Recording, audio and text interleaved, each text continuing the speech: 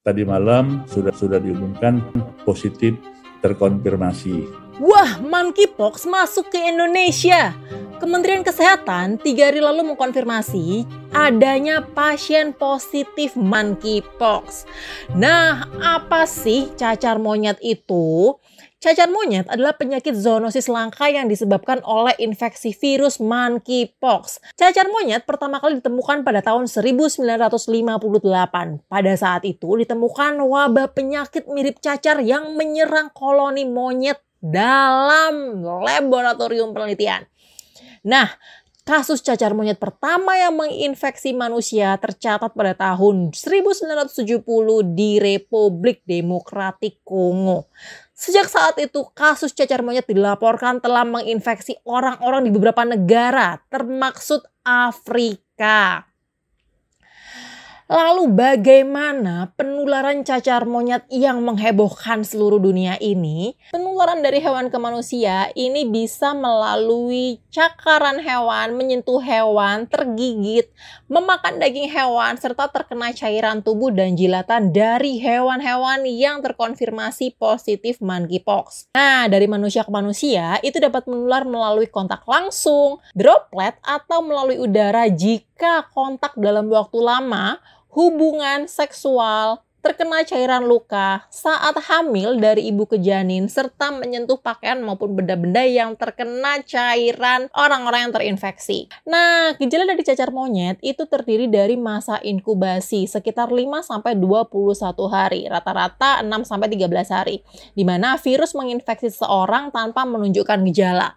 Fase prodomal sekitar 1 sampai 5 hari ini adalah waktu di mana seseorang akan mengalami demam lebih dari 38 derajat Celcius, sakit kepala berat, dan merasakan limfadenopati atau pembengkakan pada kelenjar getah bening sebelum melalui fase erupsi atau fase yang paling menular di mana mulai muncul ruam di seluruh tubuh. Menurut CDC, ada beberapa gejala yang muncul pada penderita monkeypox seperti kelelahan, demam, sakit kepala, nyeri tenggorokan, bengkak kelenjar getah bening, nyeri otot, nyeri punggung, kaku sendi, nyeri anorektal, nyeri area kelamin, serta ruam kemerahan beberapa penyebaran ruam pada tubuh itu paling banyak di area genital, area muka, area anerorektar, area tubuh, area orofaring, serta tangan dan kaki.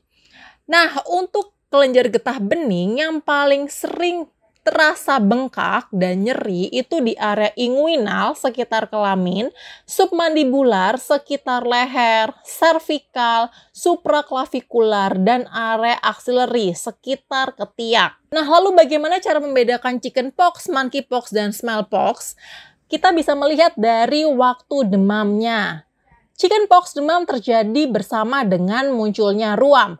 Namun monkeypox biasanya akan terjadi demam terlebih dahulu selama 1 sampai 3 hari sebelum muncul ruam. Sedangkan smallpox muncul 2 sampai 4 hari sebelum muncul ruam. Chickenpox dan smallpox kebanyakan tanpa sakit kepala, sedangkan monkeypox mengalami sakit kepala hebat. Nah, untuk ruamnya, pada chickenpox itu lebih padat dan muncul di seluruh tubuh kecuali telapak tangan. Bintik-bintik biasanya sembuh sekitar 3 sampai 7 hari paling lama. Namun untuk monkeypox Bintik-bintik bergelombol di area satu titik dan banyak muncul di wajah, telapak tangan, dan kaki. Serta bintik-bintik tidak mudah hilang, butuh 2-3 minggu waktu untuk menghilangkan. Sedangkan smallpox biasanya muncul di seluruh tubuh secara bersamaan dan proses sembuhnya lambat. Paling khas, monkeypox punya gejala limfadenopati atau pembengkakan kelenjar getah bening yang tidak didapat gejalanya pada chickenpox maupun smallpox. Lalu bagaimana cara mencegah penularan dari cacar monyet. Yang pertama, hindari kontak dengan hewan yang dapat menjadi reservoir virus, terutama hewan yang terlihat sakit dan mati, termasuk monyet, tikus, anjing, dan kelinci. Hindari kontak dengan bahan apa pun yang dipakai oleh penderita yang terinfeksi, seperti tempat tidur, pakaian, tempat makan, handuk, maupun alat rias dan alat mandi. Lakukan cuci tangan yang baik dan benar setelah berpergian atau berada di tempat umum. Masak daging dengan benar dan matang, serta hindari makan daging hewan primata maupun pengerat dan hewan-hewan liar. Gunakan alat pelindung diri jika jika berhadapan dengan pasien yang terinfeksi monkeypox, serta jangan lupa untuk selalu menjaga kesehatan tubuh. Apalagi jika ada riwayat jalan-jalan ke area yang terkena monkeypox. Nah, jika sudah terkena monkeypox, maka yang dilakukan adalah menangani gejala dari monkeypox seperti menurunkan demam, nyeri, maupun menurunkan bengkak pada kelenjar getah bening.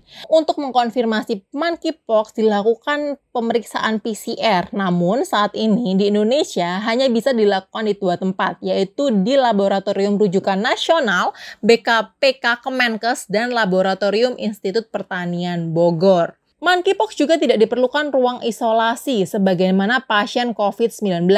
Pasien monkeypox dapat melakukan isolasi mandiri di rumah sampai gejalanya hilang.